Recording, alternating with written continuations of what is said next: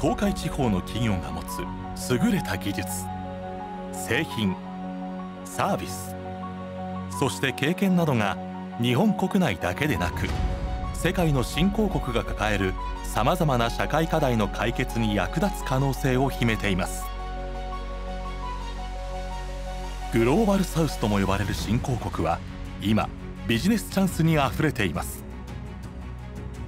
JICA は ODA を通じて築いてきた新興国とのネットワーク信頼関係ノウハウを活用して日本企業の海外展開を応援しています。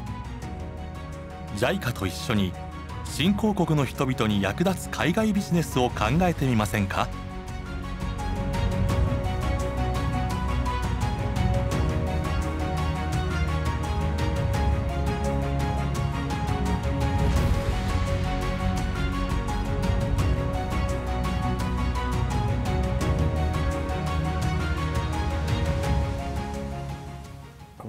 まあ、大きな建設機械のですね、えーバネそれとお鉄道の方ではあーレールを止める結装置のおバネそれと、まあ、列車の方のですね、まあ、サスペンションに使われるようなバネそういったのがメインですね。えー年間ですと大体まあ9億から10億になります。まあ、シェアでいきますと大体まあ3分の1程度ぐらいですね。国内でねもう需要がこれ以上伸びないっていうとこもありましてねモンゴルの国が森林伐採を禁止するということであの木の枕木が今後作れなくなるとその過程で、えー非常にカーブのとこがね木の枕木というのは基本的に向こうはカーブ区間を使っててカーブ区間が非常に、えー不安定なあ状況だったものですからそこをなんとか改善したいなというふうになっていったわけです。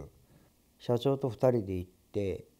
うちのものを売り込んだんですけどもまああの日本の中小企業のわけのわからんとこが売り込みに来たけどもどちゅうことでえー JICA さんの仕事でっていうとあの非常に向こうの政府関係者もですね受け入れよく、えー対応していただいたということですね。資材なんか持ってってもですね、えー JICA さんのそういう国際関係のっていうことですとねやはり受け入れが非常に向こう側がね好意的にあの入管なんかもね、えー処理していただけたということはあります。モンゴル政府の方ですね、えー一中小企業の我々があの政府の、えー関係の方と、えーましてや副大臣の方とか、えー大臣の方と、えーお会いすることは、ね、まずないかなと、えー思っておりますので、えーそれが大きなあの経験になりましたね。あの全部日本が持ってってやるじゃなくって向こうの人たちにも手伝ってもらうということですね。例えば今回工事は全部向こうでやってもらってますし枕木も向こうで作ってもらってます。あの JICA さんのそのスキームの方が、えーもう終了になるんですけども、えーその間に培ってきたその人間関係、えー人脈ですよねそれが生かされて、えー新しいお話もいただいておりますので我々はあの鉄道車両の、えーバネの部品を作っていますのでそちらでまた今後あのか海外の方にですね展開して、えーまた売上の規模を増やしていけるというような、えー海外の方に展開していきたいなと、えー考えています。特にアジアはやっぱり植民地時代に簡単な資金で粗悪な基盤で引かれた鉄道がたくさんありますのでそういったところの近代化に会社として協力できればなというふうには思います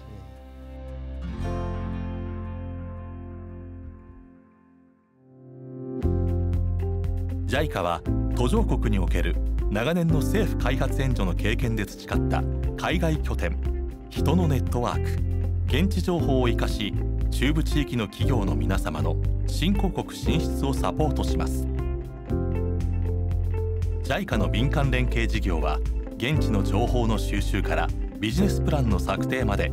準備段階に応じてご利用いただけます。